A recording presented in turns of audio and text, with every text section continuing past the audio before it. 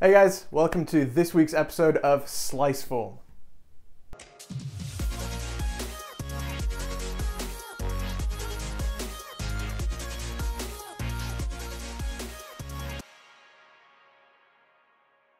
So a lot of times when people first get a 3D printer, they're gonna be printing things like cool desk toys, uh, a bunch of figurines, and things that look completely aesthetic.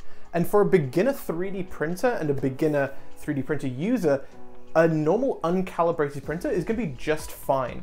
But as soon as you start to get into functional prints, things that have mechanical parts, things that need to fit into other stuff, uh, you'll find that nothing really works. You have pretty bad surface quality, you're gonna get a ton of stringing in between multiple parts, and you'll run into some errors that you'll come up with quick fixes for. But in this class, we're gonna go over how to calibrate your printer and make it as perfect as possible right out the door. So by calibrating your machine, your filament, and your slicer settings, we will correct all of the issues right now because there's nothing more permanent than a temporary solution. So in this video, we are gonna be going through all of my processes to calibrate every new printer that I ever get. We're also gonna go how to calibrate the filament as well.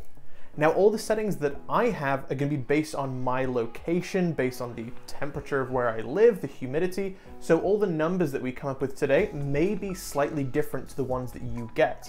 And this is a really important fact because weirdly enough, even though this is a electronic and mechanical machine, all printers are just a little bit different. In a lot of 3D printing companies, they actually name all of their printers real human names because they all have little personalities, little tweaks that all make them slightly different.